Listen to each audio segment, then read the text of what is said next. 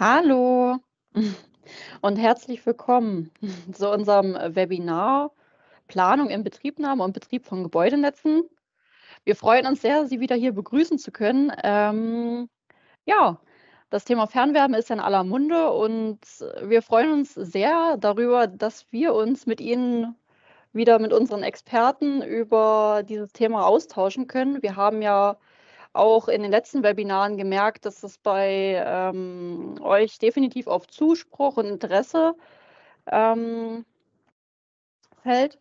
Und deswegen freuen wir uns heute, dieses Webinar mit euch ähm, durchführen zu können. Genau. Ähm, die Fragen, wenn ihr generell irgendwelche Fragen habt, die werden im Chat gesammelt. Also bitte dort einfach reinschreiben und am Ende ähm, werde ich die dann unserem Referenten nochmal stellen und dann werden wir sie gemeinsam beantworten. Und in diesem Sinne würde ich auch direkt an unseren Referenten Herrn Lutz Birnig übergeben und starten. Ja, danke schön, Senja. Herzlich willkommen von meiner Seite zu unserem heutigen Webinar.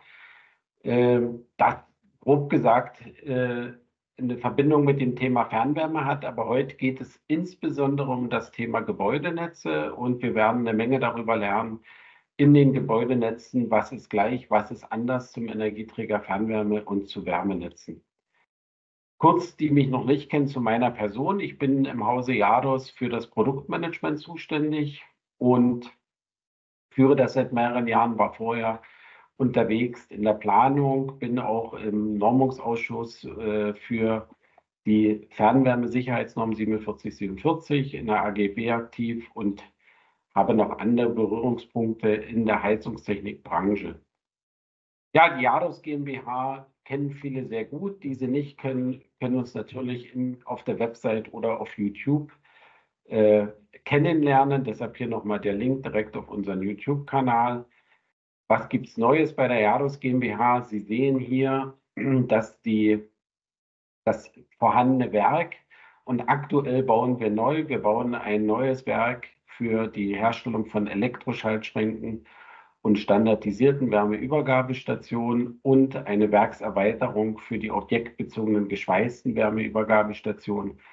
Warum tun wir das? Äh, wir wissen alle, das Thema Fernwärme der Energieträger Fernwärme, die neuen Wärmenetze werden immer wichtiger. Und ab 2026 greift in Deutschland die kommunale Wärmeplanung bei allen Städten größer 100.000 Einwohner, später dann größer 10.000 Einwohner. Und dort wird es zu einem erheblichen Anstieg der Anschlüsse an Wärmenetze oder einen Ausbau und Erweiterung der vorhandenen Wärmenetze geben. Wir bereiten uns hier damit auf einen höheren Auftragseingang und ein, damit eine höhere Herstellmenge von Wärmeübergabestationen dafür vor. Ende 2025 sind wir dann mit dem Umzug in die verschiedenen Fertigungsstätten für diesen neuen Markt aufgestellt. Ja, was möchten wir heute durchgehen? Es geht erstmal darum, dass ich kurz erklären möchte, was ist der Unterschied, was das verbindet zwischen Gebäudenetzen und Wärmenetzen. Wie planen wir Gebäudenetze? Was sind Gebäudenetze, die als Sekundärnetz an ein Wärmenetz angeschlossen sind? Was sind Gebäudenetze mit einer eigenen Energiezentrale bzw. Heizzentrale? Und wann macht es Sinn, die Sektorenkopplung auch in Gebäudenetzen sehr dezentral einzusetzen, also Strom und Wärme miteinander zu verbinden, eventuell auch Mieterstrommodell? Dann natürlich die Inbetriebnahme, der Betrieb der Gebäudenetze und zum Schluss die Fragen, die Sie jetzt gerne schon im Chat stellen können. Ja, ein Gebäudenetz. Äh, was ist der Unterschied? Ein Gebäudenetz ist ein nicht öffentliches Netz, also eine Eigenversorgung von mindestens zwei Gebäuden auf einem Grundstück oder mehreren Gebäuden von einem Eigentümer. In der Regel wird der Eigentümer eine Wohnungswirtschaft sein, also eine juristische Person, die Wohngebäude hat oder auch eventuell äh, kann es sein, eine juristische Person, die mehrere Nichtwohngebäude hat äh, auf einem Gelände.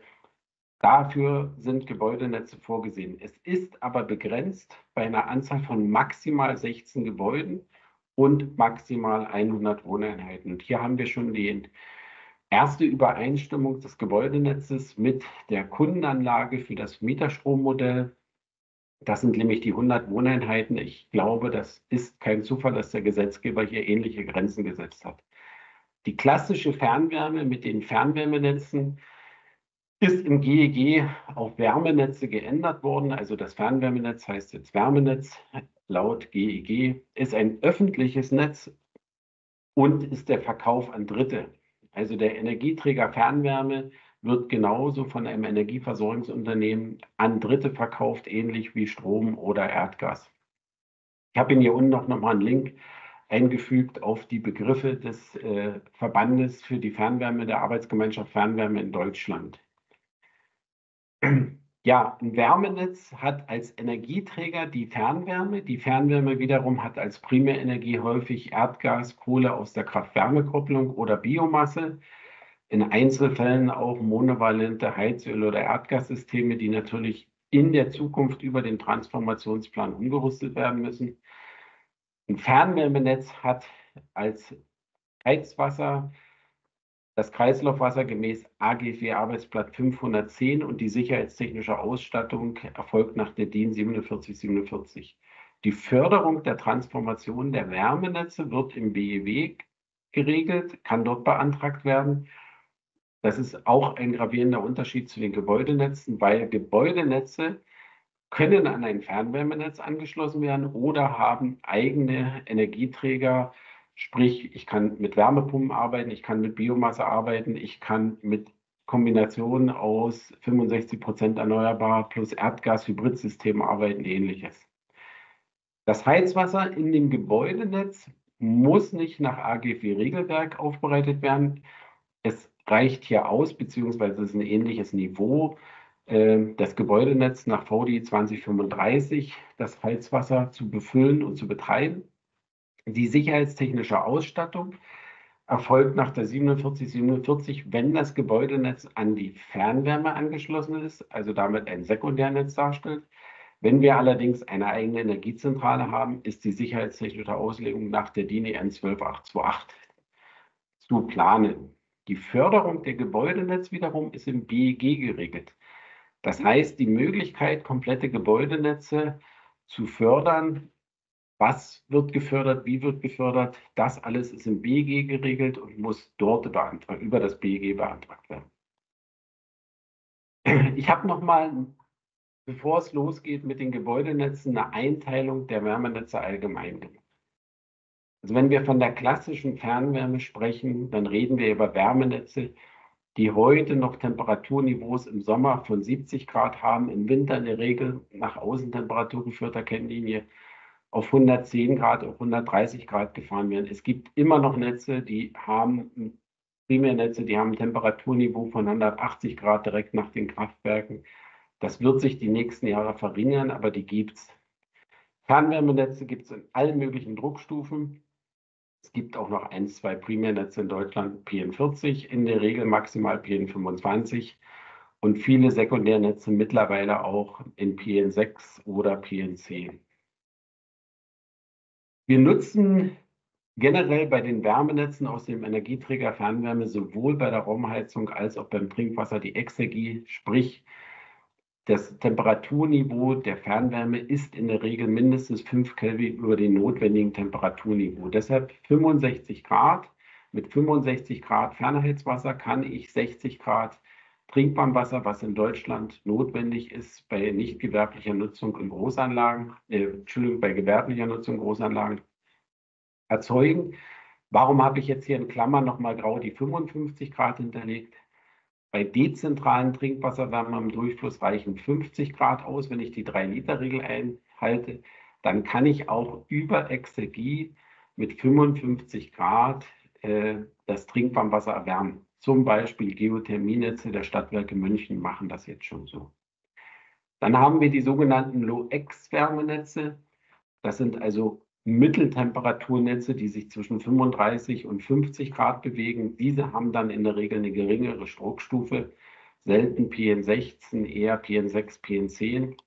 Hier nutzen wir für die Raumheizung die Exergie. Bedeutet natürlich, dass die Wärmeübergabe in den Räumen dann entsprechend für diese Temperaturniveaus äh, aufgerüstet wird oder saniert wird oder im Neubau errichtet wird. Die Trinkwasserwärmung ist dann nicht direkt möglich, sondern wir müssen auch die Energie nutzen. Das heißt, wir bauen dezentral eine Wärmepumpe im Gebäude ein. Diese Wärmepumpe erhöht das Temperaturniveau in der Regel dann auf 70 Grad und aus 70 gradigem Wasser dann das entsprechende Trinkwarmwasser mit 60 Grad zu machen. Auch hier wiederum in Klammern, wenn wir äh, dezentral Trinkwasserwärme am Durchfluss einsetzen, ist das Temperaturniveau die Exergregrenze eine andere als mit dezentralen äh, Trinkwasserwärme. Dann haben wir sogenannte kalte Wärmenetze. Das heißt, wir haben ein Temperaturniveau, was maximal 25 Grad hat, äh, gerne auch kalte Nahwärme genannt in Deutschland. In der Regel haben wir hier noch geringere Druckstufen, maximal 10 Bar. Diese Netze können sogar in der Sohle bis ins Minustemperaturniveau gehen. Hier nutzen wir für die Raumheizung und für die Trinkwasserwärmung die Energie. Das heißt, wir brauchen im Gebäude eine Wärmepumpe, um sowohl Raumheizung als auch Trinkwasserwärmung generieren zu können. Deshalb heißen diese Netze in der Schweiz auch Energienetze. Also da gibt es sehr viele Begriffe, ähnlich wie Wärmenetze mal Fernwärmenetze mal Nahwärmenetze genannt werden. Es ist ein, nach GEG ein Wärmenetz. Also nochmal wichtig die Einteilung der verschiedenen Temperaturniveaus, dass man von daher das ein bisschen auseinanderhalten kann. Und da von diesen drei Arten gibt es jetzt natürlich auch Gebäudenetze. Aber warum, welche Motivation haben wir überhaupt, ein Gebäudenetz zu realisieren? Was wir gerade merken, ist, dass viele Gebäude sich gern an die Fernwärme anschließen wollen, aber die Fernwärme nicht, die Fernwärmetrasse nicht an bestimmten Gebäuden verbaut geht. Die Wohnungswirtschaft hat aber auf einem Grundstück mehrere Gebäude und kann von dem Gebäude 1 die anderen Gebäude versorgen. Jetzt macht natürlich ein Gebäudenetz Sinn, das werde ich heute vorstellen, was dann als Sekundärnetz, als Gebäudenetz andere Gebäude mit indirekt Fernwärme versorgt. Dann gibt es den Fall, dass wir zum Beispiel Hackgut als Energieträger haben und mehrere dezentrale Hackgut-Heizzentralen in der Regel wesentlich höhere Investitions- und Betriebskosten haben pro Kilowatt Leistung, als wenn ich eine zentrale Erzeugungsanlage mache. Hier macht es auch Sinn, mehrere Gebäude zusammenzufassen, eine größere Heizzentrale zu realisieren und dann über ein Gebäudenetz die Gebäude zu versorgen. Des Weiteren ist es so, dass es mittlerweile Sanierungslösungen gibt mit Wärmepumpen, die einen sehr großen Platzbedarf haben. Das heißt, wir gehen ja häufig mit den Wärmepumpen schon aufs Dach, aber wir gehen teilweise mit den Wärmepumpen dezentral äh, neben die Gebäude. Das heißt, wir errichten neben dem Gebäude ein, ein, ein zweites Gebäude, eine, eine Containerlösung oder eine Betongaragenlösung, wo wir diese Wärmepumpen aufstellen. Hier ist es dann natürlich sinnvoll zu sagen, wenn ich zwei, drei, vier oder fünf Gebäude habe, diese eine Heizzentrale größer zu realisieren und dann mehrere Gebäude zu versorgen, also hier auch wieder mit einem Gebäudenetz zu arbeiten. Und schlussendlich macht das Ganze natürlich Sinn, wenn ich im Mieterstrommodell mehrere Gebäude zusammenfasse, also eine Stromkundenanlage für mehrere Gebäude errichte, dann kann ich die Sektorenkopplung, sprich die Kopplung meines Strom- und meines Wärmenetzes viel günstiger realisieren, wenn ich noch parallel zu dieser Stromkundenanlage ein Gebäudenetz aufbaue. Das ist ja auch im Großen und Ganzen der Quartiersgedanke, wobei ein Quartier sehr häufig dann schon über diese 100 BE oder 16 Gebäude hinausgeht. Ja, wenn wir jetzt so ein Gebäudenetz planen, dann gibt es die erste Variante, die ich schon vorgestellt habe. Wir schließen dieses Gebäudenetz ein, ein vorhandenes Wärmenetz mit dem Energieträger Fernwärme an. Das möchte ich Ihnen als erstes vorstellen. Die anderen Varianten im äh, Nachgang. Und jetzt müssen wir, wenn wir diese Fernwärme anschließen, dieses Gebäudenetz mit einer sogenannten Unterstation an das Fernwärmenetz anschließen, haben den Energieträger Fernwärme und wir haben ein Gebäudenetz Wärme. Die zweite Variante, die ich Ihnen danach vorstelle, ist die Variante mit Biomasse, also mit Hackgut. Und wir haben dann die bivalenten Varianten oder Hybridsysteme, die ich Ihnen vorstellen möchte, mit Wärmepumpen und Spitzenkessel, Gas bzw. Öl. Und eine multivalente Variante, ganz zum Schluss möchte ich Ihnen vorstellen, äh, wenn es in Richtung kompliziert geht, wo wir dann noch die äh, PV-Stromnutzung in der Wärmepumpe äh, gegensetzen mit positiver Regelenergie, indem wir zusätzlich noch ein BRKW für KWK setzen und damit äh, den Strom für das Mieterstrommodell noch erzeugen können in der sogenannten Dunkelflaute und diese Wärme wiederum im Gebäudenetz nutzen. Ja, als erstes ein Gebäudenetz angeschlossen an ein Wärmenetz mit dem Energieträger Fernwärme. Wir sehen hier das Gebäude 1. Das Gebäude 1 hat schon einen Fernwärmeanschluss oder es ist möglich, diesen Fernwärmeanschluss neu zu realisieren. Die Gebäude 3 und 4 in der benachbarten Straße, nennen wir das hier die Goethestraße und hier haben wir die Schillerstraße. In der Schillerstraße haben wir keine Fernwärme. Wir schließen also über das Gebäude 1, über ein Gebäudenetz indirekt jetzt diese Gebäude 2 und 3 an die Fernwärme an. Wir müssen also hier ein Gebäudenetz errichten, den Fernwärmeanschluss am Gebäude 1 vergrößern und können jetzt hier die Wärmeverteilung in den Gebäuden mit unserem eigenen Gebäudenetz machen. Das ist also das, was wir aktuell am häufigsten jetzt in die Planung bekommen. Die Unterstation der Fernwärme wird geregelt über die 4747. Die Hausübergabestation werde ich Ihnen jetzt mehrere Varianten vorstellen, wie wir das realisieren können weil wir haben natürlich die Möglichkeit, verschiedene Netzvarianten aufzubauen. Was selten passiert, aber was möglich ist, dass wir ein sogenanntes druckloses Gebäudenetz aufbauen.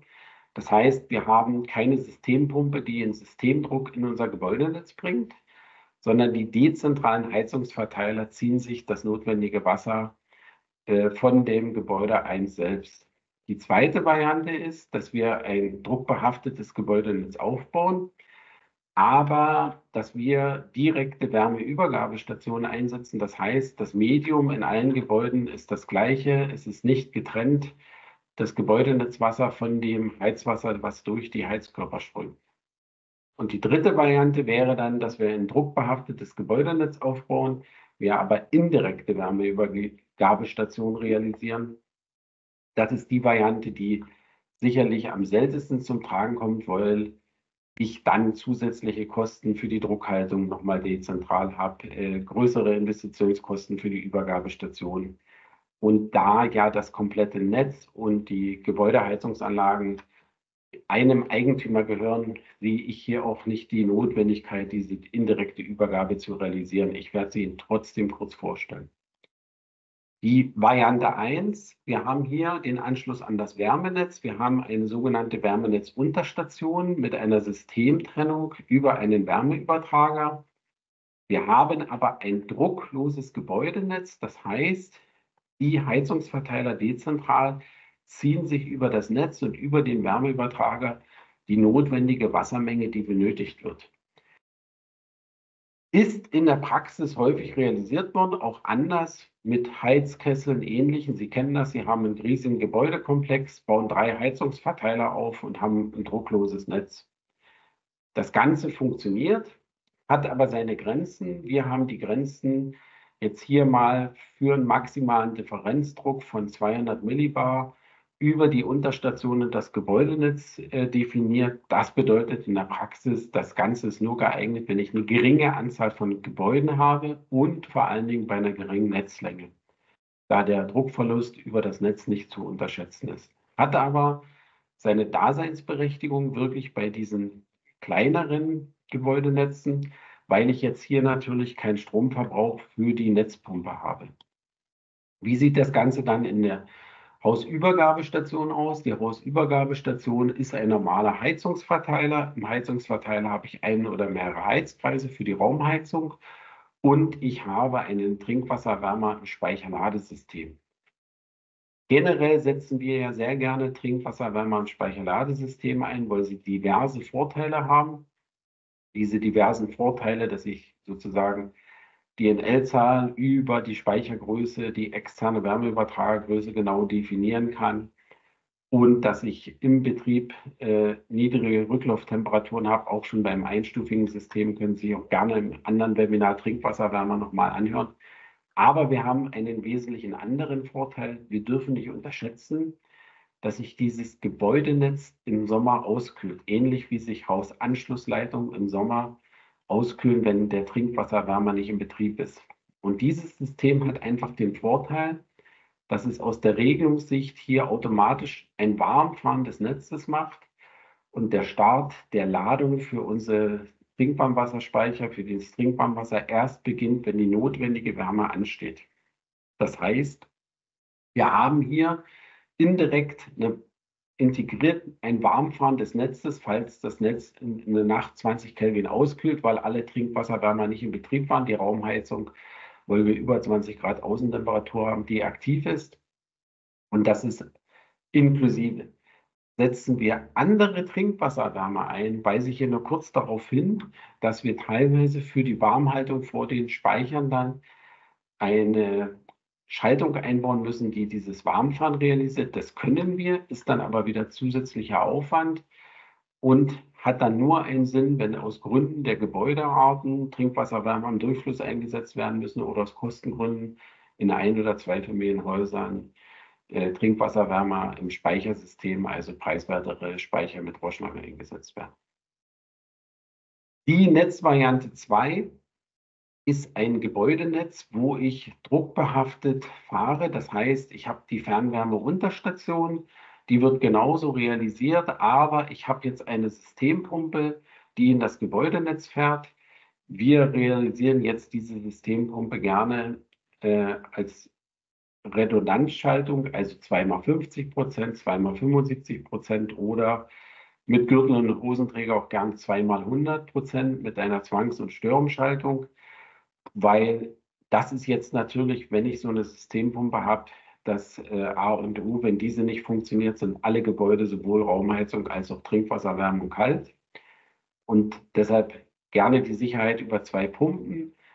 Deshalb sehen Sie hier unten auch so eine Sicherheitsschaltung beim Schmutzfänger. Ich kann mit dieser Parallelschaltung von zwei Schmutzfängern im Betrieb die Schmutzfänger reinigen muss also nicht das Gebäudenetz herunterfahren, um den Schmutzfänger reinigen zu können. Das ist also so eine Erfahrung aus den Wärmenetzen, die wir hier gerne übertragen und äh, zur Verfügung stellen. Hier ist es jetzt so, dass die Unterstation der Druckverlust des Gebäudenetzes und der Druckverlust der Hausübergabestation die notwendige Förderhöhe für diese Netzpumpe bestimmen. Das heißt, auch hier brauchen wir natürlich die Leitungslängen der Gebäudenetze, die ungefähre Rohrart, damit wir die Druckverluste bestimmen können, um dementsprechend die Netzpumpe auslegen zu können. Das ist jetzt für alle Gebäudenetzvarianten geeignet. Es ist ja ähnlich ein Wärmenetz aufgebaut. Ich fahre mit einem Differenzdruck an das Gebäude und dort baue ich dementsprechend die direkte oder indirekte Übergabestation auf. Wie sieht dann so eine äh, direkte Übergabestation aus? In der direkten Übergabestation habe ich einen Differenzdruckregler, Volumenstromregler, der mir jetzt an dem entsprechenden Netzpunkt den Differenzdruck auf einen voreingestellten Sollwert regelt. Das ist bei uns dann in der Regel 0,2 bar. Mit diesen 0,2 bar betreibe ich dann die Raumheizung mit einer zusätzlichen Umweltpumpe, weil der Differenzdruck im Gebäude häufig größer ist, Richtung 300, 350 Millibar. Und ich kann mit diesem Druck über ein Regelventil das Speicherladesystem wieder betreiben. Hier wieder mit dem gleichen Vorteil, dass die Warmfahrung des Wärmeübertragers sozusagen das Netzwarmfahren realisiert. Der Vorteil bei diesem System ist, dass die Netzvorlauftemperatur, die ich hier realisiere, 65 oder 70 Grad, auch komplett als Netzvorlauftemperatur an meinen Heizflächen genutzt werden kann. Also gerade wenn ich ältere Gebäude habe mit älterer statischer Heizung, wo ich noch sehr hohe Vorlauftemperaturen fahren möchte. Das Ganze gibt es jetzt natürlich als indirekter Anschluss an das Gebäudenetz. Beim indirekten Anschluss habe ich dann diesen Wärmeübertrager zur Netztrennung, muss hier im Gebäude eine separate Druckhaltung aufbauen, habe über diesen Wärmeübertrager einen Temperaturhub von 5 Kelvin, den ich abfalle. Also fahre ich mein Gebäudenetz mit 65 Grad, kann ich hier nur 60 Grad Raumheiztemperatur realisieren. Und wir schlagen auch vor, dann das, äh, den Trinkwasserwärmer, das Speicherladesystem am Gebäudenetz anschließen und nicht hier auf der Hausanlagenseite, um weitere Temperaturverluste zu haben, weil wir können jetzt hier mit 65 Grad noch 60 Grad Trinkwarmwasser realisieren. Währenddessen, wenn wir hier einen Temperaturabfall haben, haben wir zwei Wärmeübertrager und müssen das Netz schon immer mindestens am Netzschwächepunkt mit 70 Grad fahren. Ja, das war mal der Vorstellung, wenn wir ein Sekundärnetz, ein Internwärmenetz aufbauen.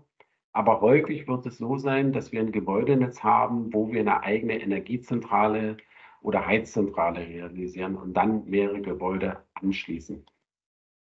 Das sieht dann so aus, wir haben dann im oder neben dem Gebäude 1 haben wir eine Energiezentrale, die dann wiederum dezentral die Gebäude versorgt. Das bleibt also erstmal gleich. Und ich habe dann in diesen Gebäuden die gleichen Hausübergabestationen, wie ich sie jetzt auch gerade vorgestellt hatte. Ich habe Ihnen ja gesagt, ich würde Ihnen mal gern die Variante Biomasse vorstellen und ich würde Ihnen auch mal die Variante monovalente Wärmepumpensysteme vorstellen, dann hybride Wärmesysteme, Wärmepumpensysteme und dann mal ein System, Multivalent, Wärmepumpe, BAKW und Spitzenkessel bzw. Reservekessel.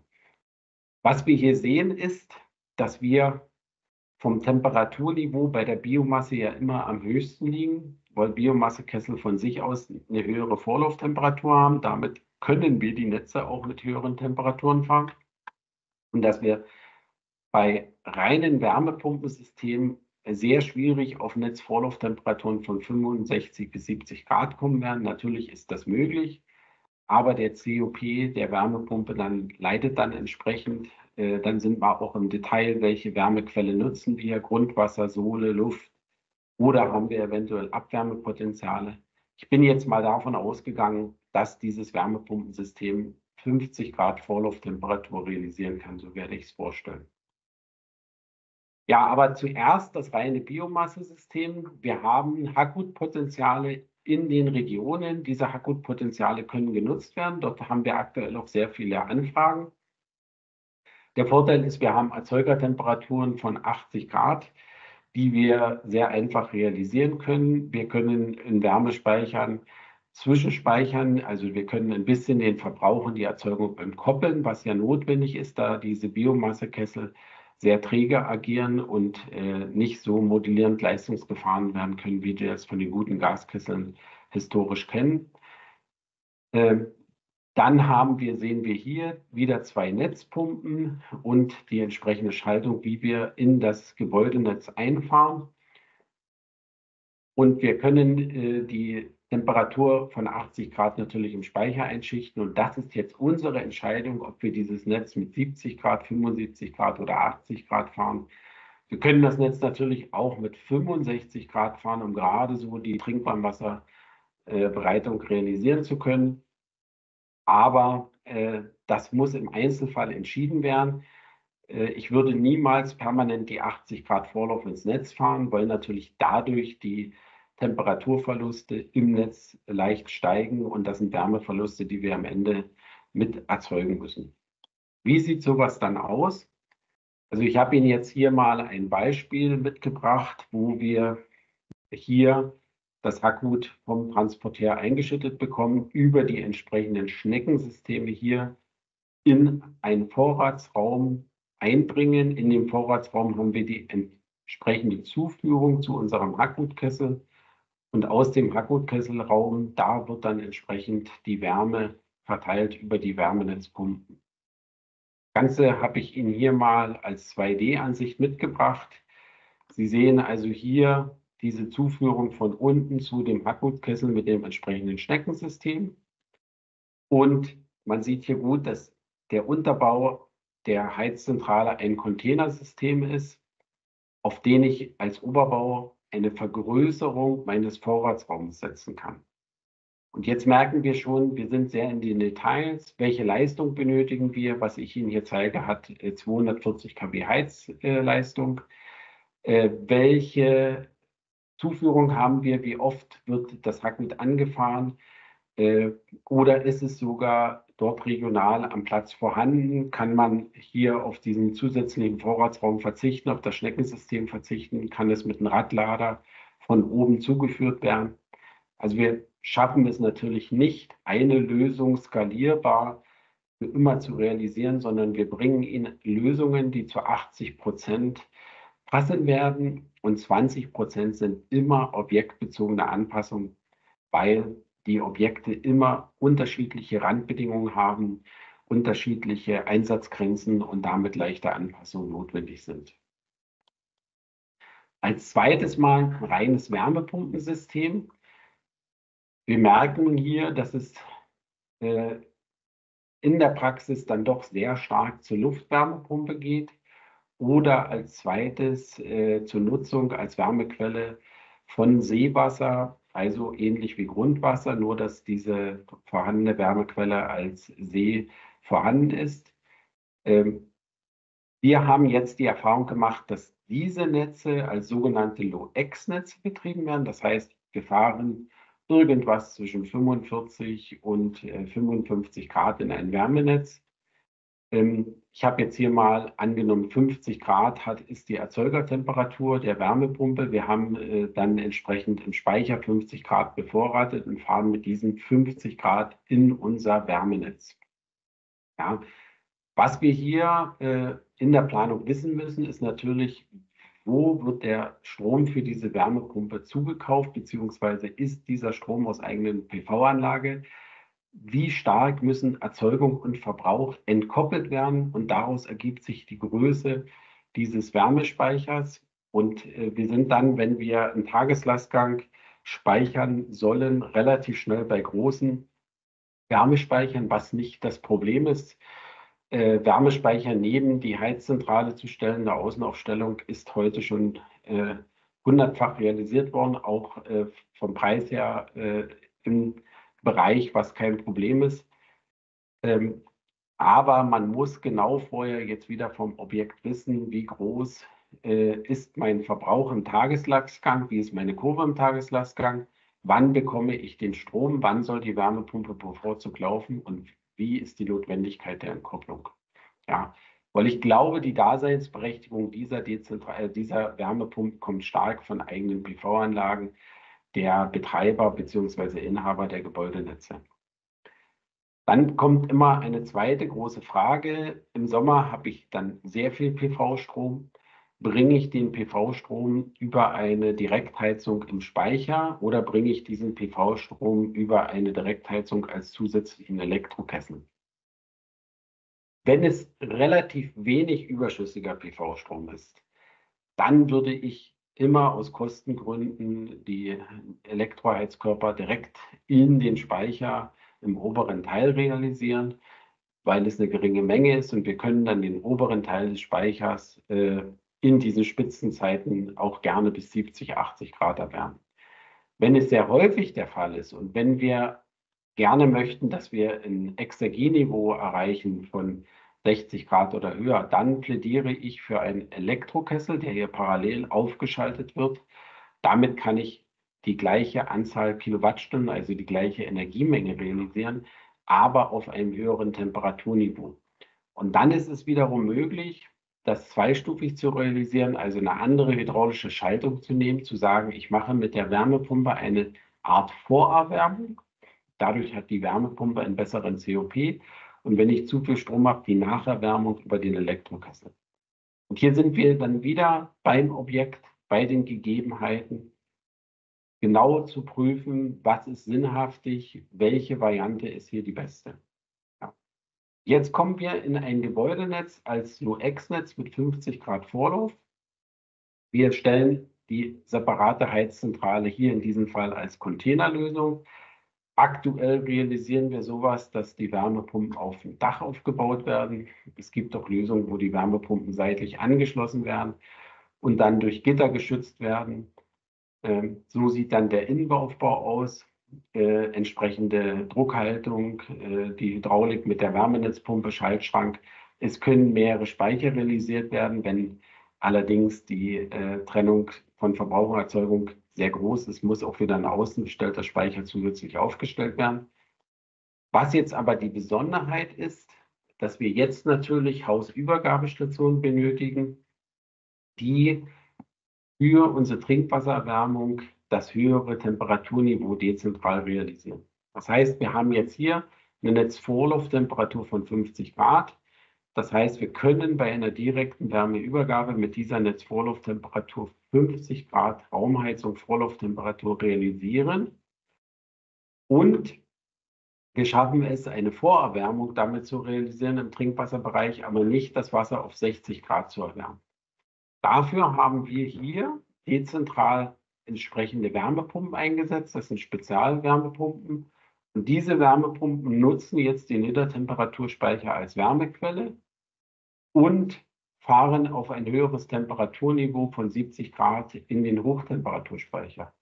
Mit diesen 70 Grad Heizwasser wird dann im Nacherwärmer die Trinkwasserwärmung auf 60 Grad realisiert, beziehungsweise im Zirkulationsbetrieb die Erwärmung von 55 auf 60 Grad. Die Besonderheit hier ist die, dass wir diese Wärmepumpen relativ klein auslegen können. Das heißt, wenn wir normalerweise für die Trinkwasserwärmung mit dem Kessel nachladen, gehen wir immer von 30 Minuten aus und wir haben dann ja die, die komplette Leistung. Hier ist es so, dass wir die Vorerwärmung schon aus diesem Niedertemperaturspeicher realisieren. Wir müssen also nur die Energie für die Nacherwärmung realisieren und wir können diese Wärmepumpe den ganzen Tag gemütlich 20 Stunden laufen lassen. Das heißt, die Leistung fällt entsprechend geringer aus bei der gleichen Wärmearbeit, die wir hier realisieren. Das ist also hier eine Schaltung, die wir hier gerne einsetzen. Das Ganze geht natürlich auch als indirekte Variante, so wie wir es auch bei den anderen Hausübergabestationen gezeigt haben. Dann haben wir natürlich den Nachteil bei der indirekten Variante, dass ich aus 50 Grad Netzvorlauftemperatur dann 45 Grad Heizkreisvorlauftemperatur realisieren kann. Das ist in der Regel kein Problem, wenn ich einen Neubau habe. Im Neubau kann ich die entsprechenden Heizflächen so auslegen. In der Sanierung geht es ja um jede Grad Celsius, die ich bei der Raumheizung nach oben komme, um möglichst die Raumheizung mit den vorhandenen Heizflächen realisieren zu können.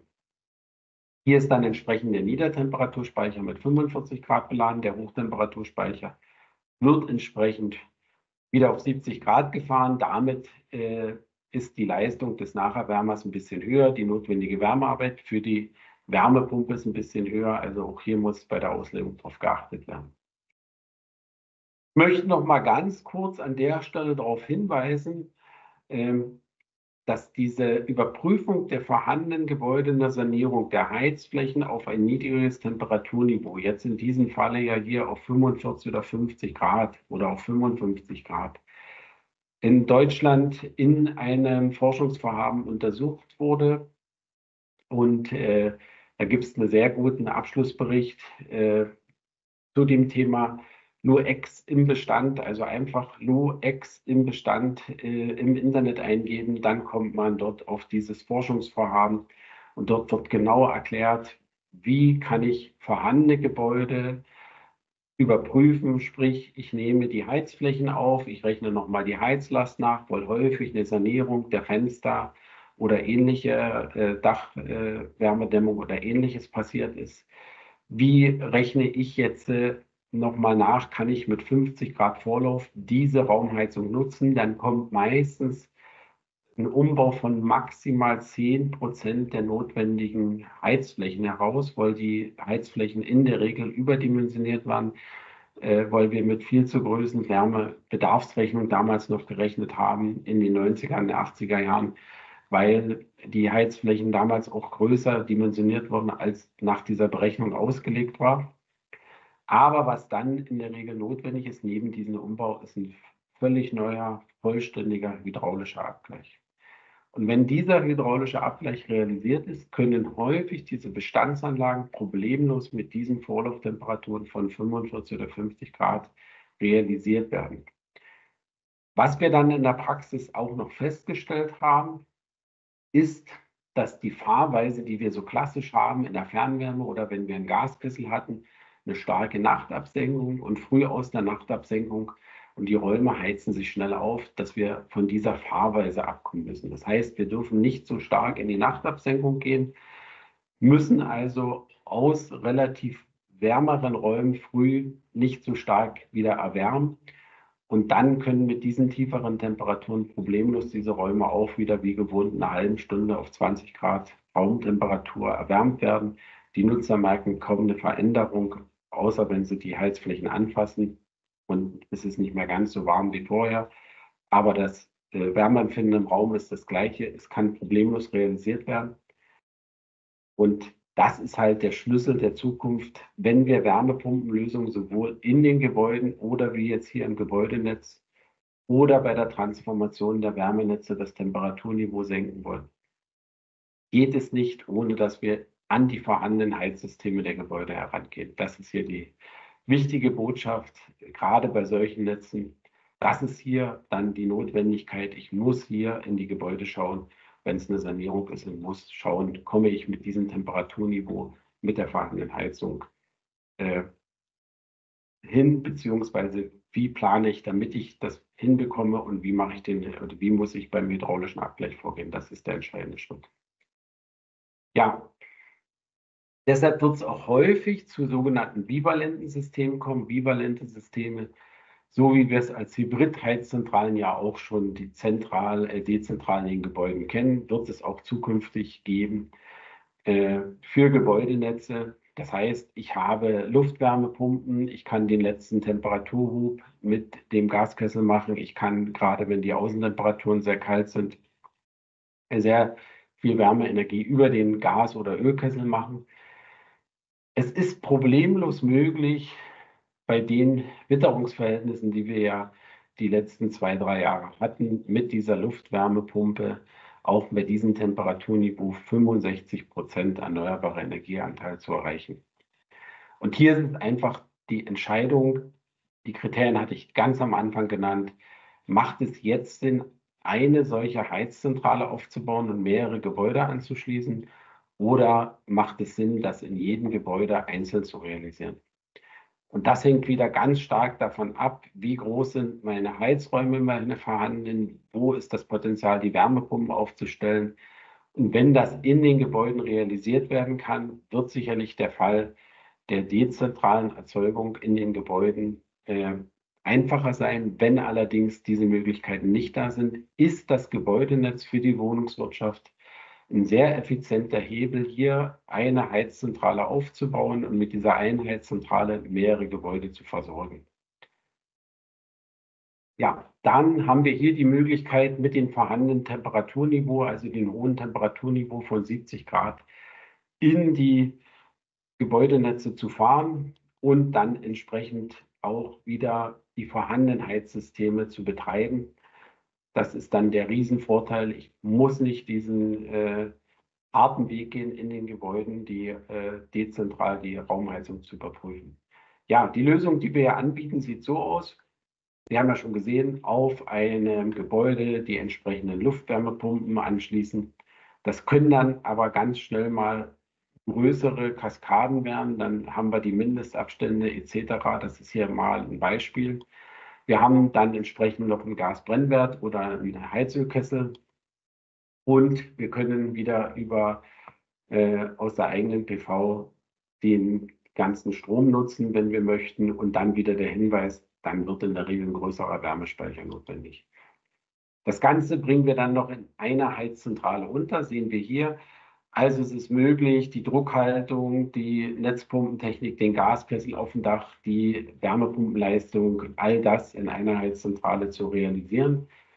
Äh, das ist also noch eine relativ kleine Lösung, äh, die wir hier anbieten können und sicherlich mal der effizientere Weg, wie ich schon gesagt habe, wenn man mehrere Gebäude mit äh, zwölf oder 16 Wohneinheiten hat, die zusammenzuschließen anstatt das mehrmals zu machen. Jetzt kommen wir zu dieser multivalenten Lösung, die ich in der Praxis eher selten gefunden habe, wo die eine, aktuell eine sehr große Unsicherheit beim Thema BHKW im Markt ist, weil der die, die entsprechenden Energieträger für BHKWs äh, auch irgendwann auslaufen, der Erdgaspreis stark schwankt, der Strompreis stark schwankt eine gewisse Investitionssicherheit da sein sollte. Also hier der Hinweis, die BHKW-Größen, die wir hier benötigen, sind ja relativ klein. Wir reden hier von 20, äh, 25 kW elektrischer Leistung auch bei so einem Gebäudenetz. Der Mehrwert ist relativ groß und diese BHKWs haben einen Lebenszyklus von zehn Betriebsjahren. Das heißt, in diesem Lebenszyklus, äh, wenn wir das jetzt realisieren, sind wir bei den 65 Prozent erneuerbar. Das heißt, wir können aktuell Energieträger einsetzen, die fossil sind. Wir haben aber diesen riesigen Mehrwert der Sektorenkopplung in beiden Richtungen, also nicht nur der äh, negativen Regelenergie, die wir mit der Wärmepumpe aus dem Stromnetz nutzen, sondern auch positive Regelenergie, die wir in dann dem Gebäudenetz bringen und dann in die sogenannte Stromkundenanlage. Und dann ist es so, dass wir, wenn diese Laufzeit des BRKWs vorbei ist, sicherlich zwei Jahre vorher wissen, wie hat sich der Markt um uns entwickelt? Gibt es ein Wasserstoffnetz? Ist es möglich, so ein BRKW, so eine KWK über Wasserstoff betreiben? Gibt es Biomethan im großen Ausmaß und das Gasnetz wird in den Regionen, in den Ballungszentren aufrechterhalten mit Biomethan? All die Fragen, die jetzt heiß diskutiert werden, die sich aber erst die nächsten Jahre entscheiden werden. Oder ist es dann wirklich nicht mehr notwendig, diese sehr dezentrale KWK einzusetzen, weil die KWK dann im Niederspannungsnetz durch die Stadtwerke stattfindet und ich im Bedarf diesen Spitzenstrom, wenn es sehr kalt ist äh, und in der Dunkelflaute, preiswert von meinen Stadtwerken bekomme. All diese Fragen werden sich die nächsten Jahre beantworten. Aber aus meiner Sicht ist das eine riesige Option, äh, die Verbindung KWK und Wärmepumpe zu nutzen. Dann rückt dieser Gaskessel komplett in den Hintergrund und ist in meinem Fall äh, nur noch eine Störreserve, weil wir mit dem Betrieb des BRKWs vor allen Dingen im Winter und den, ansonsten im Sommer und Übergangszeiten der Wärmepumpe hier die notwendige Wärmeenergie realisieren können. Hier können wir dann in das Netz entsprechend reinfahren. Wir haben im Sommer über die Wärmepumpe das entsprechende Niveau. BRKW hat immer eine Wärmeauskopplung von 80 Grad. Das heißt, auch der Vorteil wäre dann gegeben, dass wir hier im Winter, wenn wir den BRKW-Betrieb haben, und der ist ja meistens, wenn es sehr kalt ist, und entsprechend äh, nicht genügend Strom oder die Luftwärmepumpen einen schlechten COP haben, realisiert wird, haben wir dann sogar die Möglichkeit, das Netz höher zu fahren. Ja, so sieht dann eine sogenannte multivalente äh, Heizzentrale von Jahres aus. Wir können hier, das sieht man hier sehr gut, von diesen Containerlösungen modular erweitern. Natürlich auch einen dritten oder vierten.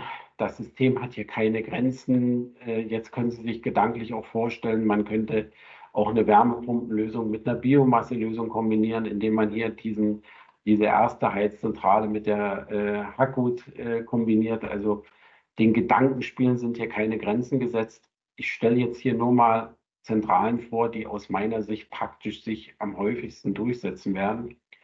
Wir haben jetzt diese Heizzentrale mit der Luftwärmepumpe und die, äh, auf der anderen Seite die zweite Heizzentrale mit dem BHKW, den Gasbrennwertkessel, den wir schon hatten, und nutzen jetzt wieder aus der eigenen PV den Strom. Und wenn wir hier stark entkoppeln müssen, dann wieder der Hinweis, größerer Wärmespeicher ist notwendig. Das Ganze sieht dann von der Raumaufteilung so aus. Wir haben also zwei Betriebsräume, einmal den mit dem Gaskessel, einmal das BHKW, Druckhaltung entsprechend jetzt in dem anderen äh, Heizzentrale angeordnet, um die Bedienerfreundlichkeit zu haben. Man sieht dann auch schön, je mehr Container oder Gebäude wir hier nebeneinander stellen, umso mehr Wärmepumpenfläche haben wir automatisch vorhanden, können also hier, könnten hier also auch problemlos relativ schnell und zügig erweitern. Ja, das sind die Heizzentralen. Das war mal so ein Einblick, was ist möglich, äh, was macht Sinn in dieser Größe. Und dann übertragen wir die Wärme über das Rohrsystem, über unser Gebäudenetz zu den Gebäuden. Hier gibt es natürlich spezielle Anbieter. Ich möchte nur darauf hinweisen, wir reden ja hier über ein äh, Wärmenetz, was in der Regel mit maximal fünf Bar-Sicherheitsventilen abgesichert ist, was in der Regel mit einem Betriebsdruck äh, von dreieinhalb Bar im Vorlauf, im Rücklauf noch niedriger, dann in der Regel von zweieinhalb oder zwei Bar gefahren wird. äh, abgesichert ist bei 90 Grad und eine Betriebstemperatur in der Regel von 70 oder 75 Grad haben wird. Das Netz selbst wird dann äh, entsprechend dem Aufbau DN65 bis DN20 sein. Und es ist kein Stahlrohr als Mediumrohr, also kein Kunststoffmantelrohr erforderlich. Wenn wir das nicht das Kunststoffmantelrohr, sondern einfaches PEX-Rohr verwenden, haben wir natürlich eine viel einfache Montage. Das heißt, wir, wir haben einen Graben, wir müssen nicht vorspannen, wir müssen das Rohr in Anführungsstrichen nur einlegen, wir können das Rohr einsanden, den Graben verschließen und danach in Betrieb nehmen. Also all die Dinge, die wir beim Kunststoffmantelrohr haben, zugelassene Schweißer, Vorspannen, dann einsanden äh, und diese ganzen Arbeitsschritte entfallen entsprechend und das macht die Montage einfach und das macht sie vor allen Dingen kostengünstiger. Das ist natürlich ein Riesenvorteil des Gebäudenetzes, auch als Sekundärnetz an einem Wärmenetz. Weil Wärmenetzleitung zu verlegen, ist der teure Teil für, das, für den Anschluss an die Fernwärme. Ja, das ist hier der Hinweis. Dann ist es so, dass dieses PEX-Rohr von verschiedenen Herstellern mit Purdämmung, von anderen mit PE-Dämmung realisiert wird. Dann gibt es für jedes System natürlich Vor- und Nachteile. Der entscheidende Hinweis ist hier wirklich, es gibt Systeme, die haben äh, den besten äh, Lambda-Wert und entscheidend ist natürlich die Wärmeleitfähigkeit dieser Dämmung. Und ich kann Ihnen hier nur empfehlen, bei der Wärmedämmung für dieses System nicht zu sparen, weil jede Kilowattstunde, die Sie nicht in dem Gebäudenetz verlieren, die spart Ihnen natürlich Betriebskosten, weil die müssen Sie nicht in der Zentrale realisieren, also erzeugen. Und hier würde ich wirklich von den Investitionskosten her auf das höherwertige System setzen, würde das Ingenieurbüro gerne mal beauftragen, im Lebenszyklus das zu rechnen. Und jetzt müssen wir nämlich entscheiden, ich habe gerade vom Lebenszyklus eines BRKWs, einer Erzeugeranlage gesprochen, das sind ja nur zehn Jahre. Wärmepumpe 15 Jahre. Aber wenn ich das Netz verlegt habe, gehe ich schon davon aus, dass dieses Netz mindestens 30 Jahre betrieben wird. Das heißt, wenn ich einmal diese Rohrleitung in der Erde verlegt habe, dann bin ich ja flexibel mit meiner Heizzentrale, aber ich werde weiterhin das Netz nutzen. Und hier muss ich gegen einen Lebenszyklus von 30 Jahren rechnen. Und selbst wenn sich jetzt hier erst nach zwölf Jahren die Amortisation einstellt über die bessere Wärmedämmung, wäre ich derjenige, der hier sagen würde, wir nehmen die bessere Wärmedämmung, weil auf lange Sicht bringt uns das die entsprechende Ersparnis. Also das ist hier aus meiner Sicht nochmal ein ganz wichtiger Hinweis für das Rohrsystem. Wenn wir in den Gebäuden sind, können wir natürlich ganz normal verlegen mit dem Rohrsystem, was wir haben. Wir können C-Stahlrohr pressen, wir können die normale Wärmedämmung 100 Prozent nach GEG anbringen. Völlig ausreichend. Es gibt auch Gebäudenetze. Wir haben jetzt eins in äh, Berlin, ein riesenlanger Gebäudekomplex, wo das Netz rein im Keller im Gebäude verlegt wird. Dann habe ich gar kein Rohrsystem, was irgendwo äh, im Außenbereich unter der Erde verlegt wird. Also dann mache ich eine ganz normale Heizungstechnik, Montage, PN6, 90 Grad, fertig. Entscheidend für den Betrieb unseres Gesamtsystems, also Erzeugung, Netz, Verbrauch, ist jetzt natürlich unser Energiemanagement. Das Wort Energiemanagement ist jetzt alles nichts oder, wir gehen erstmal von unserer Wärmeerzeugung aus, das Management von der Wärmeenergie. Und wir bieten dazu eine übergeordnete Leittechnik Supervisor an, die in der Erzeugeranlage schon mal die Lastspitzen glätten kann. Was heißt das? Wir wissen, früh kommen viele Gebäude aus der Nachtabsenkung. Ich habe eine größere Lastspitze oder ich habe bestimmte Zeiten, wo dann doch noch relativ äh, in der Gleichzeitigkeit mit einer höheren Spitze geduscht wird und in mehreren Gebäuden geht mit einer hohen Wahrscheinlichkeit gegen 7 Uhr die Trinkwassererwärmung an. Diese Glättung geht A, dadurch, dass wir entsprechende Wärmespeicher einsetzen, aber auch über die Prognosen, die das Energiemanagement macht und über ein entsprechendes Hochfahren der Erzeuger schon bevor die Lastspitze eintritt. Das Ganze schaffen wir, indem wir die entsprechenden Kennzahlen haben, also historische Kennzahlen, die wir ermitteln, die wir dann auch mit ausgeben können. Aber diese Kennzahlen Und diese historischen Daten helfen natürlich, die entsprechenden Prognosen für die Zukunft zu erstellen. Sehr gut ist es, wenn wir dann zu den Gebäuden eine entsprechende Datenkommunikation herstellen können. Wir machen das äh, über einen LON-Bus. Dazu muss entweder mit dem entsprechenden Gebäudenetz ein Kommunikationskabel, also Telefonkabel verlegt werden, was dann diesen LON-Bus transportieren kann von den Hausübergabestationen zur Zentrale in diese Leittechnik-Supervisor. Dann können wir darüber noch eine Netzvorlaufoptimierung fahren und eine Netzpumpenoptimierung. Also wir können anhand der Ventilstellung in den dezentralen Hausübergabestationen den entsprechenden notwendigen Differenzdruck äh, äh, berechnen und die Netzpumpe entsprechend mit der äh, nur notwendigen Druck fahren, was uns wieder eine Stromersparnis bei der Netzpumpe bringt. Und wir können in der Energiezentrale den Erzeugereinsatz generell optimieren, wobei wir dann schon in Richtung Energiemanagement und externe Schnittstelle an die Energiemanager Strom von der PV-Anlage kommen. Also hier sprechen wir natürlich einmal die Erzeugereinsatzoptimierung äh, in puncto der Außentemperaturen und in puncto der äh, Energiepreise, aber vor allen Dingen, wenn ich eigene PV-Strom nutze, brauche ich die Schnittstelle zu meinem Energiemanager Strom, die Prognose und dann die entsprechende Fahrweise meiner Wärmepumpen als Erzeugeroptimierung, wenn ich diesen PV-Strom habe. Ja, natürlich können wir in den Hausübergabestationen auch nach Heizklinien optimieren, nicht nur über das Wetter, sondern über die Raumtemperatur. Also wenn wir in mehreren Referenzräumen Raumsensoren setzen können, dann können wir über die Ist-Zustände der Raumtemperaturen nochmal die Heizkennlinie optimieren und damit den Verbrauch generell in den Gebäuden senken und äh, auch die Netztemperaturen bei bestimmten Netzfällen noch optimieren können. Sie erinnern sich an die Low-X-Schaltung, also wenn ich das Netz dann äh, nur mit 45 oder 43 Grad betreiben muss, bringt das natürlich einen entsprechenden Vorteil. Und ich kann nochmal im Sommer in den Übergabestationen die Trinkwasserladung optimieren. Also es hat sich in der Praxis gezeigt, dass man im Sommer die Ladung langsamer realisieren kann, damit die Gesamtlast in dem Netz geringer ist und auch wieder die Erzeuger entsprechend äh, optimiert werden können, also nicht so hoch in der Leistung früh gefahren werden können. Also das sind auch Rückschlüsse, die ich aus den Ist-Zahlen aus meinen Gebäuden über, von den Übergabestationen nutzen kann.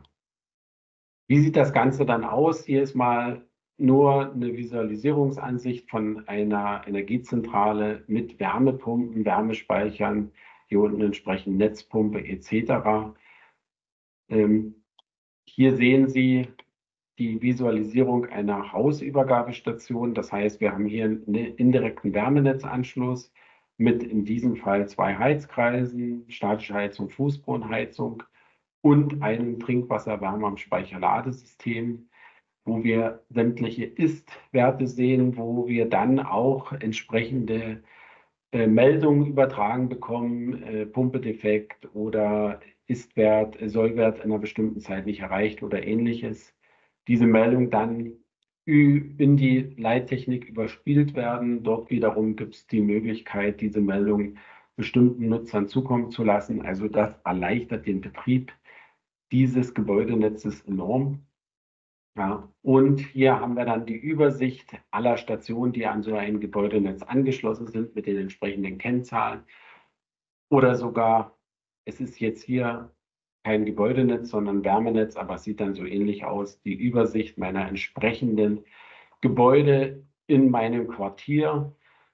Und ich sehe hier über die äh, Farben, kann ich schon sehen, bestimmte Werte, Kennzahlenwerte, die diese Hausübergabestation bzw. diese Gebäude haben. Also das ist dann auch möglich, das Ganze auf Wunsch des Betreibers in einem gewissen Rahmen zu customizen, das System anzupassen, wie möchte gerne das der Betreiber.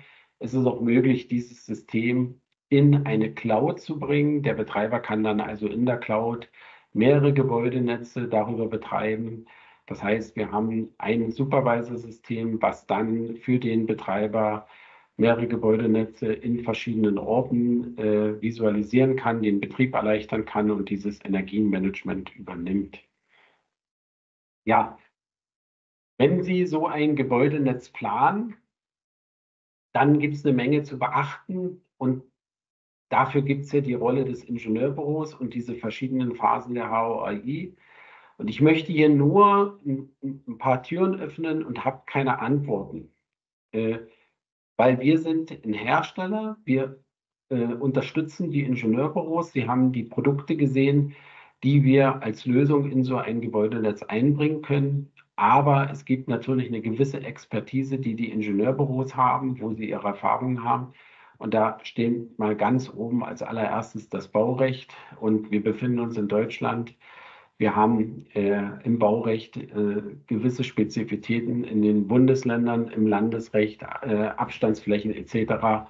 habe ich nur mal hingeschrieben. Wir haben das Thema Dienstbarkeiten, Querung von Wegen. Äh, Sie wissen es, ganz am Anfang war die Stromkundenanlage äh, über Wege nicht erlaubt. Mittlerweile ist das erlaubt. Also es geht auch beim Gebäudenetz einiges. Aber entsprechend müssen dann die äh, entsprechenden Themen geklärt werden mit den zuständigen Behörden. Wir haben das Thema Versorger, Betreiber. Das heißt, die Wohnungswirtschaft kann natürlich selbst Betreiber sein. Äh, sie kann aber auch sagen, ja, den Betrieb vergebe ich an, an Dritte, weil bei meinem normalen Gebäude bin ich zwar offizieller Betreiber mit einem Hausmeister, aber wenn irgendwas ist, rufe ich den Installateur an, der den Wartungsvertrag hat und der kümmert sich und genauso kann man hier, muss man hier entscheiden, wer wird denn wirklich den Betrieb durchführen. So, und entscheidend ist natürlich die Frage der Energieträger, also welche Wärmequellen sind denn überhaupt in der Region nutzbar, wo ich meinen Gebäudekomplex habe? Das ist ja eh die entscheidende Frage der Zukunft. Und hier ist es so, dass äh, wir ja mit der kommunalen Wärmeplanung dort ein paar Antworten bekommen werden. Aber wenn wir die Antworten haben, dann sich eventuell diese Handlungsoptionen ergeben, sprich, ich habe Potenzial an Biomasse, ich habe Gebäude mit einer schlechten Gebäudeenergieeffizienzklasse, will also hohe Vorlauftemperaturen fahren, habe aber nicht den Anschlussmöglichkeit an ein Wärmenetz. Dann wäre zum Beispiel diese Energiezentrale mit Biomasse eine Option. Oder ich habe keinen Anschluss an ein Wärmenetz, habe Gebäude mit einer Gebäudeenergieeffizienzklasse, die ich problemlos mit 50 Grad Vorlufttemperaturen betreiben kann.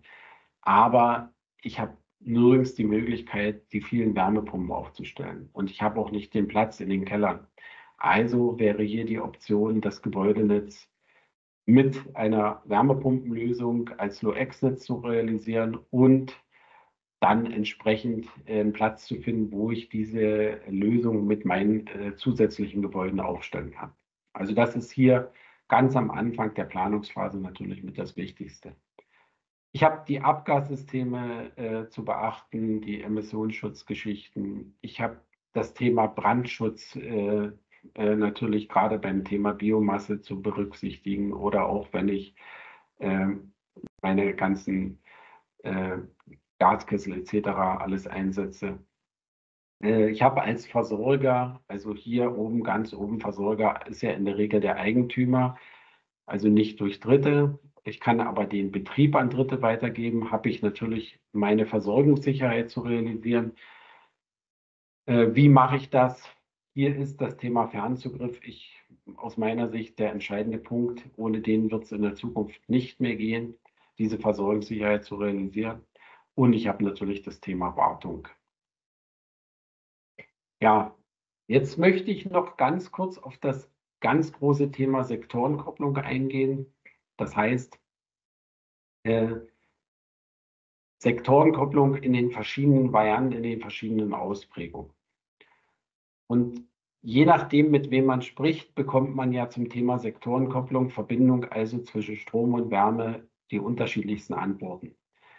Äh, spreche ich mit den äh, Installateuren von PV-Anlagen auf Eigenheim, ist natürlich für die das Thema Sektorenkopplung äh, im Gebäude ganz unten im Ein- und Zweifamilienhaus schon entscheidend. Das heißt, bei äh, diesen äh, Herstellern oder die diese Systeme präferieren, die sagen, ja, also wenn meine PV-Anlage läuft, muss ich natürlich meine Wärmepumpe laufen lassen, muss ich meine Ladesäule anschalten für meine E-Mobilität etc.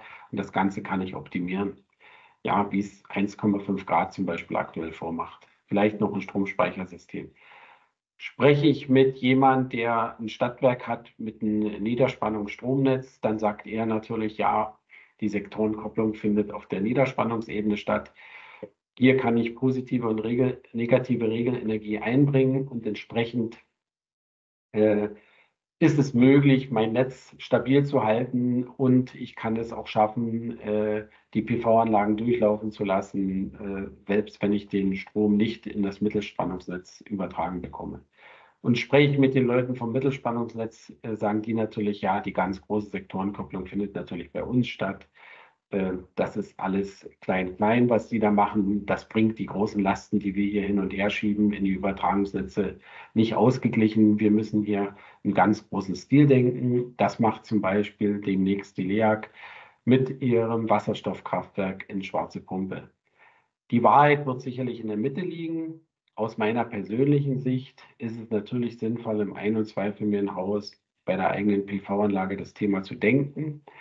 Aber gerade diese Gebäudenetzebene mit Mieterstrommodell bis 100 WE mit einem Wärmenetz hat ein sehr großes Potenzial und aus meiner zweiten Sicht hat das ganz große Potenzial, das Stadtwerk mit dem Stromniederspannungsnetz und mit dem Wärmenetz Energieträger Fernwärme. Das ist ja einer der Gründe, warum wir mehr Wärmenetze in der Zukunft brauchen, weil nur mit diesen Wärmenetzen kann die entsprechende Sektorenkopplung sehr gut realisiert werden. Bei den Gebäudenetzen ist es häufig so, wir haben PV-Anlagen. Der Gebäudeeigentümer sagt, ich mit der Strommodell, alles zu kompliziert. Ich mache mit meinen PV-Anlagen Power to Heat über eine Wärmepumpe und eventuell einen zusätzlichen Direktstromnutzung, also einen Elektrokessel. Das hatte ich kurz bei der monovalenten Anlage vorgestellt. Also hier gibt es im Prinzip nur eine Eigenstromoptimierung, also die Erzeugung muss sozusagen dann stattfinden, wenn ich den PV-Strom habe und ist entkoppelt von meinem eigentlichen Verbrauch. Dann habe ich natürlich die Möglichkeit, eine PV-Anlage äh, mit einer Wärmepumpe und einem Meterstrommodell zu realisieren. Hier wird es schon ein bisschen komplexer, das Mieterstrommodell alleine aufzubauen. Jetzt ist wieder die Frage, wer ist Betreiber dieses Mieterstrommodells, wer ist Betreiber der Wärmepumpe. Ich hatte erst das Thema äh, Energiemanager angesprochen, zeige Ihnen dann noch eine Folie dazu. Jetzt kann ich natürlich eine Eigenstromoptimierung äh, machen für Verbrauch und Erzeugung. Das heißt, im Meterstrommodell folge ich natürlich dem Verbrauch. Jetzt wäre es wichtig, eine Verbrauchskurve zu haben. Habe ich hier ein Gebäude, wo sehr viele Menschen auch mittags kochen, dann habe ich mit, mittags meistens dann doch äh, eine Stromspitze. Ähm, oder habe ich das nicht und dann äh, nutze ich natürlich, weil der Verbrauch des Stromes geringer ist, die äh, Eigenstromoptimierung über die Wärmepumpe. Ja. Und dann habe ich die Variante, die ich Ihnen vorgestellt hatte, die natürlich die komplexeste ist. Ich habe eine PV-Anlage, ich nutze mit Power to Heat in der Wärmepumpe diesen Strom, habe zusätzlich das Mieterstrommodell, kann jetzt aber in der sogenannten Dunkelflaute mit der KWK Strom erzeugen. Diesen Strom kann ich dann in einem eigenen Mieterstrommodell nutzen. Und ich habe in diesem Moment die Abwärme als Wärmequelle für mein Gebäudenetz, weil in dem Fall ja sowieso die Wärmepumpe nicht ausfällt, aber nicht mit Eigenstrom genutzt werden kann. Und das zeigen halt die Erfahrungen, dass diese PV-Anlagen oder diese Stromerzeugung ja fast nie haargenau auf dem Punkt vorhanden ist, so wie ich sie benötige, sondern ich habe entweder zu viel Strom, dann ist das, was ich mit der Wärmepumpe erzeuge, mehr als ausreichend, oder ich habe zu wenig Strom für das Mieterstrommodell, dann muss ich das BRKW betreiben und dann habe ich die Abwärme für mein Gebäudenetz. Aus meiner Sicht ein wahnsinnig gutes Modell, was natürlich in der Planung sehr komplex ist und jetzt natürlich dazu führt, dass die Planung der Wärme- und der Elektroleute äh, sehr gut Hand in Hand gehen müssen. Hier habe ich natürlich eine wahnsinnig hohe Stromoptimierung, äh, sowohl von Verbrauch und Erzeugung, wie ich es Ihnen gerade geschildert hatte. Ja, hier mal nur kurz zur Auffrischung, bestimmt schon häufig gesehen, äh, eine Verschaltung des Mieterstrommodells mit der PV-Anlage. Äh, ich habe hier auch die Quelle dargestellt. Polarstern ist eine der Unternehmungen, die das wirklich sehr, sehr lange machen. Wir haben solche Anlagen auch schon mit Naturstrom realisiert, also wir als Partner so eine mit einem BAKW zum Beispiel. Und äh, was ich nur aus der Praxis sagen kann, die Welt der Fernwärme ist ja sehr bunt, weil wir sehr viele Fernwärmeversorger in Deutschland haben, die eine eigene THB haben. Sie werden in der Zusammenarbeit beim Thema Mieterstrom und Wärmepumpen merken, dass die Welt der Stromnetze, der Niederspannungsnetze noch bunter ist und dass die Betreiber in ihren THBs auch keine hundertprozentige Einheitlichkeit in Deutschland haben. Aber wir haben ja alles schon erlebt.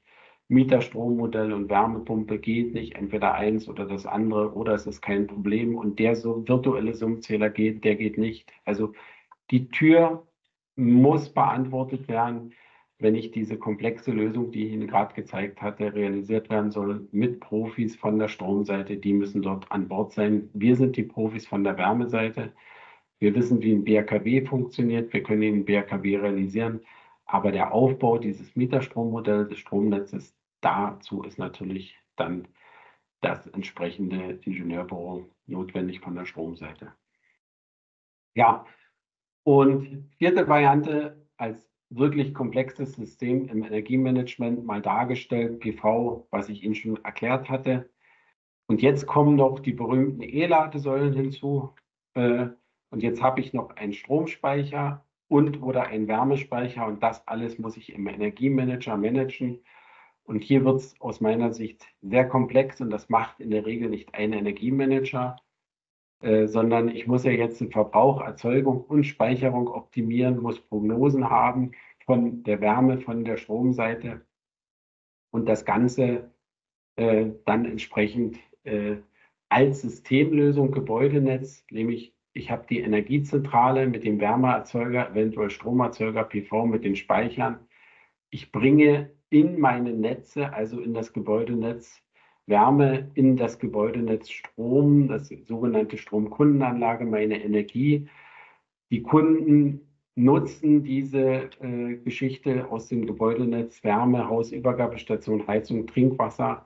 Und diese Ist-Werte werden jetzt an das Energiemanagement gemeldet und hier haben wir verschiedene Energiemanager, die dann das realisieren. Dort kommt eine Wetterprognose rein. Die Wetterprognose beeinflusst die Fahrweise. Der Energiemanager meldet die Sollwerte an die Energiezentrale, die entsprechend neu betrieben werden muss. Und jetzt gibt es aber noch Prognosen vom Energiemanager der PV-Anlage und ähnliches.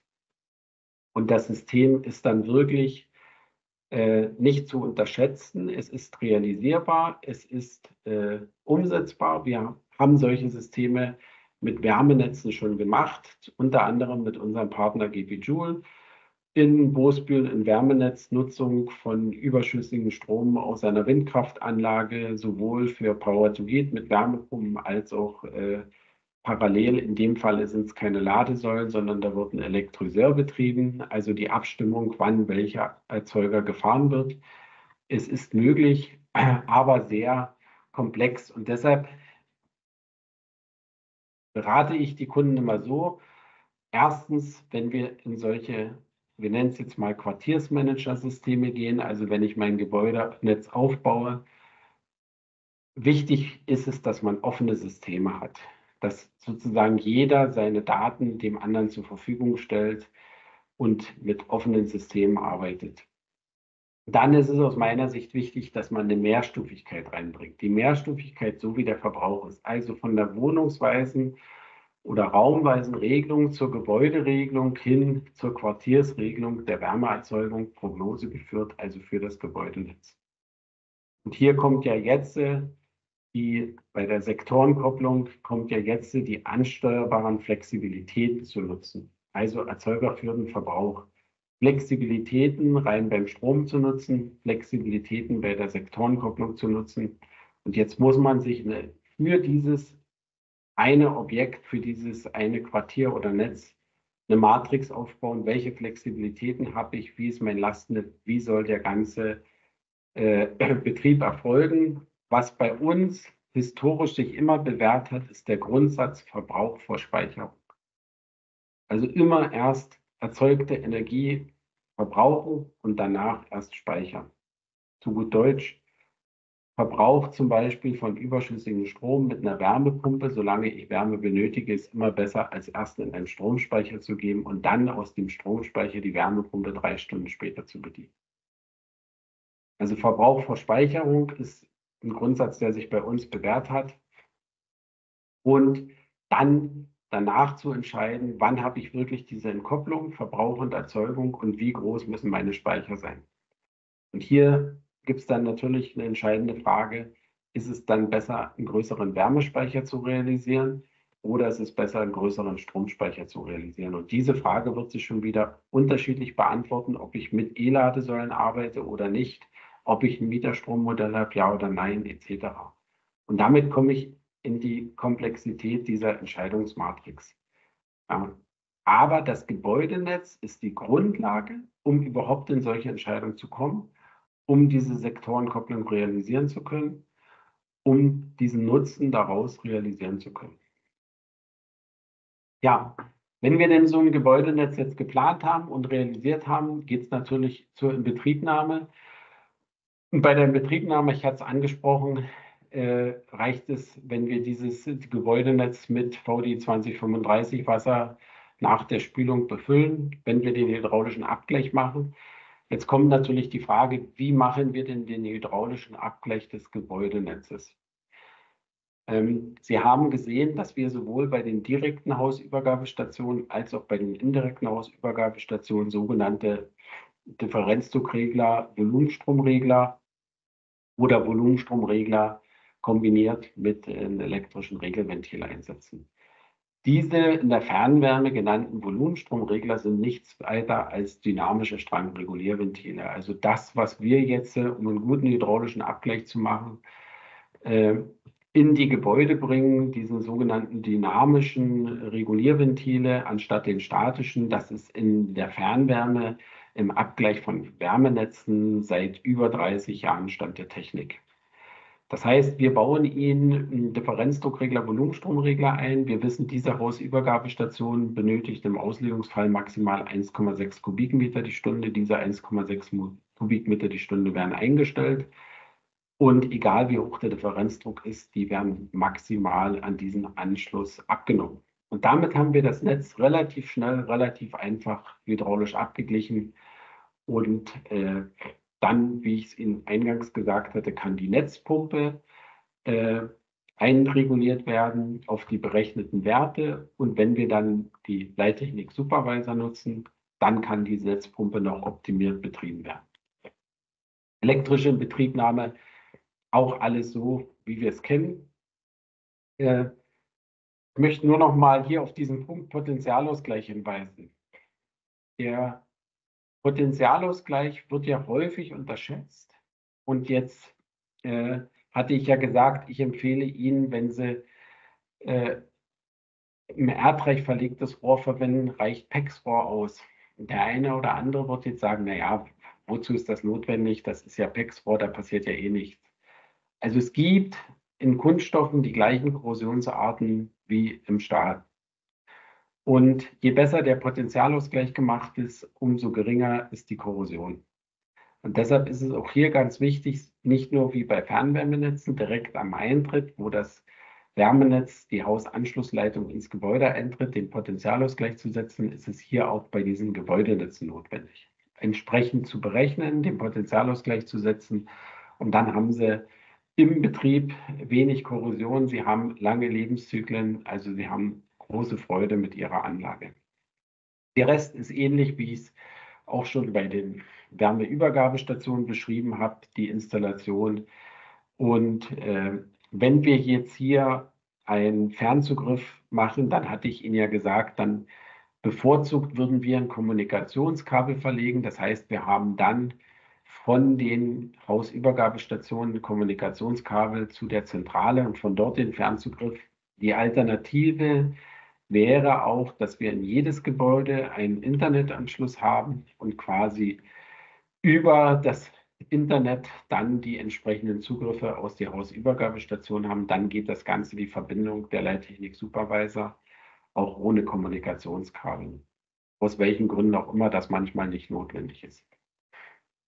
Ja, der Betrieb der ganzen Netze äh, ist ein Betrieb wie eine normale Heizungsanlage. Aber wenn wir Ihnen die Leittechnik Supervisor dazu installieren, dann haben Sie natürlich ein Monitoring. Sie können monatlich das Ganze analysieren. Sie haben dann natürlich die Wärmezählerdaten, die Sie ja für die Heizkostenabrechnung, für die monatliche Analyse äh, benötigen, haben Sie dann da. Und Sie haben, was ich ausführlich beschrieben habe, ein Energiemanagementsystem. Dann, was Sie äh, auch im Monitoring äh, betreiben können. Die Betriebsoptimierung hatte ich Ihnen auch vorgestellt, die dann realisiert werden kann und die entsprechenden äh, Vorteile, die das Ganze entsprechend äh, für die Betriebskosten dann bringt. Wartung sind wir jetzt im Grunde genommen bei genau den gleichen Wartungen, die wir bei normalen äh, Wärme, Fernwärmeübergabestationen haben, hier die Ausübergabestation. Und wenn wir in den Zentralen sind, haben wir die gleichen Wartungsarbeiten, wie wenn wir dezentralen Gaskessel im Gebäude einsetzen, eine Wärmepumpe im Gebäude einsetzen oder einen Hackgutkessel. Und hier gibt es natürlich wesentliche Unterschiede.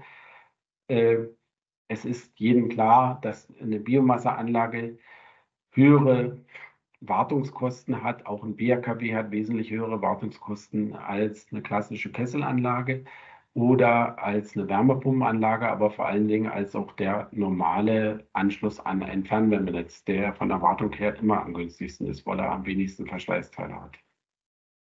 Aber das ist ja am Ende die Betrachtung, die Entscheidung, die Sie gemeinsam mit dem Ingenieurbüro tätigen. Welche Lösung ist für Sie in diesem Gebäudekomplex am besten und für was entscheiden Sie sich? Ich habe ja heute hier einige Handlungsoptionen aufgemacht, äh, Lösungsansätze dargestellt, die möglich sind. Ja, wenn Sie dann das Ganze betreiben, gibt es natürlich einen Herstellersupport, das kennen Sie, über den Fernzugriff. Äh, und ich, diese Folien können Sie von mir auch schon von der ganzen Geschichte Fernwärmeübergabestation wenn wir natürlich die Leittechnik Supervisor installieren, dann kommen wir von einem reaktiven Service zu einem proaktiven Service. Wir können Ihnen direkt im Support, im telefonischen Support über den Fernzugriff, können wir Ihnen Unterstützung geben. Wir können äh, Optimierung machen. Wir können Ihnen Garantiepakete inklusive äh, Wartungsvertrag anbieten. Das ist dann möglich. Und deshalb sage ich, ich glaube, wenn die Wohnungswirtschaft Betreiber dieser Gebäudenetze ist, dann ist einer der entscheidenden Schlüssel, dass diese Leittechnik, diese übergeordnete Leittechnik nicht nur fürs Energiemanagement, sondern auch für den Betrieb und diesen proaktiven Service eingesetzt werden kann. Der Schlüssel, um das Ganze äh, erfolgreich umzusetzen, nicht nur umzusetzen, sondern vor allen Dingen erfolgreich über mehrere Jahre zu betreiben. Also in den Lebenszyklus, wie wir das ganze Netz und wie wir die Komponenten ausgelegt haben. Ja, Jetzt habe ich Ihnen eine Menge zu den Themen gesagt, habe die viele Türen geöffnet zum Thema Erzeugung, das Netz, Netzaufbau selber, dann auch das Thema Sektorenkopplung angeschnitten und bin an der Stelle erstmal so weit und bin gespannt, ob es Fragen gibt. Hier hat sich gerade jemand gemeldet. Schunk ist mein Name, hallo. Ähm, BHKW im Mieterstrommodell. Das geht. Ja, das ging schon immer. Äh, das wurde auch mal unter anderem von Polarstern ausgerechnet, hat sich früher mit den damaligen Gas- und Strompreisen vor fünf Jahren so ungefähr ab 50, 60 Wohneinheiten gerechnet. Wurde in der Praxis aber fast nie realisiert. Es wurde fast immer realisiert mit PV-Anlagen. Das was ich Ihnen vorgestellt habe, das ist, finden Sie sofort im Internet. Berlin-Meckernkiez hat Naturstrom gemacht. Das sind vier Kundenanlagen. Eine Kundenanlage ist BHKW. Drei Kundenanlagen sind PV-Kundenanlagenstrom äh, und diese BHKW-Kundenanlage Mieterstrommodell versorgt dann noch über ein Wärmenetz das komplette Quartier äh, mit der Wärmeleitung. Ja. Gut. Okay. Okay, dann würden wir direkt den nächsten freischalten. Wir haben hier die nächste Frage reinbekommen. Also wenn Fragen sind, dann einfach gerne die Hand heben. Ja, hallo, Großfeld mein Name. Ähm, ich hätte eine Frage. Ähm, wie, wie schaut das denn aus? Ähm, Gibt es denn ähm, Erfahrungen im monovalenten Wärmepumpenbetrieb äh, mit Wohnungsstationen mit Trinkwasserbereitung? Ja, das ist ein, ist ein guter Hinweis. Das ist das, was ich eingangs gesagt hatte. Wohnungsstationen sind ja dezentrale Trinkwasserwärme, äh, die ich nach VDI, wenn ich unter der 3-Liter-Regel bleibe, mit 50 Grad Trinkwarmwasser betreiben kann. Und um diese 50 Grad Trinkwarmwasser zu realisieren, brauche ich ja ungefähr 55 Grad Heizwasser. Also es gibt entsprechende Wohnungsstationen, die sehr gut sind. Und ich weiß auch, dass es Wohnungswirtschaften gibt, die dann sagen, naja, dann mach mal als 45 Grad Trinkwarmwasser und äh, 50 Grad Heizwasser. Und diese Wärmepumpenanlagen gibt es, funktionieren hervorragend. Und wenn ich jetzt den COP noch weiter verbessern will, dann gehe ich noch weiter mit der Heiztemperatur nach unten und dann gibt es Wohnungsstationen, die einen elektrischen Durchlauferhitzer als Nacherwärme haben. Das heißt, ich habe in der Wohnungsstation habe ich eine erste Stufe Trinkwasserwärmung. Ich gehe jetzt mal 45 Grad Netztemperatur raus. Dann wird mit 45 Grad 40 Grad Trinkwasser realisiert. Und die letzten 10 Kelvin werden über einen elektrischen Durchlauferhitzer realisiert. Ja, die haben äh, früher, die Firma Camo hatte das als erstes im Programm. Ich glaube, jetzt hat es auch Strava. Also gibt es sehr viele Hersteller, die das realisieren. Mit diesen dezentralen Trinkwasserwärme am Durchfluss in den Wohnungsstationen finde ich technisch eine super Lösung. Bringe ich nur den Hinweis, weil ich hab, bin ja heute nicht wirklich auf Wirtschaftlichkeit eingegangen.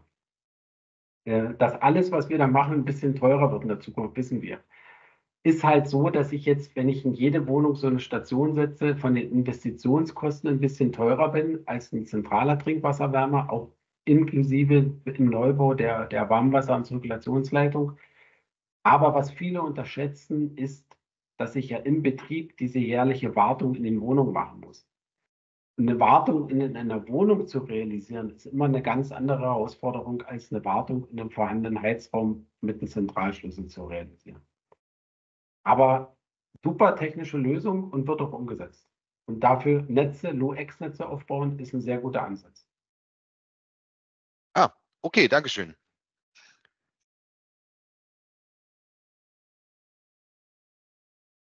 So, ich glaube, das war es dann erstmal an Fragen. Zumindest hat sich bisher niemand gemeldet. Dankeschön. Dann von meiner Seite hier noch der Hinweis. Äh, Sie bekommen das dann ja die, im Anschluss die Unterlagen. Hier ist nochmal der Hinweis. Die letzten Webinare zum Thema Wärmeübergabestation, Energieträger, Fernwärme, Fernwärmenetze finden Sie hier in unserem YouTube-Kanal. Wir machen auch, äh, mittlerweile haben wir einen YouTube-Kanal für unsere Montageanleitung.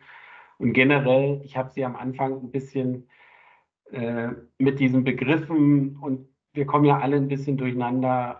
Äh, kalte Nahwärme und dieses und jenes, was ist jetzt was? Äh, hier ist ein Hinweis auch auf, hat ja am Anfang das von der AGP auf unser äh, äh, Fachbegriffe Glossar auf unserer Webseite. Und dann bleibt mir nichts weiter, als Ihnen Dankeschön zu sagen, Ihnen noch einen erfolgreichen Tag zu wünschen und ich freue mich sehr, wenn hier ein paar interessante Hinweise waren und wenn Sie wenn Sie solche Lösungen in Zukunft planen, auf unseren Außendienst zutreten oder direkt bei uns ins Werk und wir gemeinsam solche interessanten Projekte umsetzen können. Also von meiner Seite Dankeschön und haben Sie einen schönen Tag. Tschüss.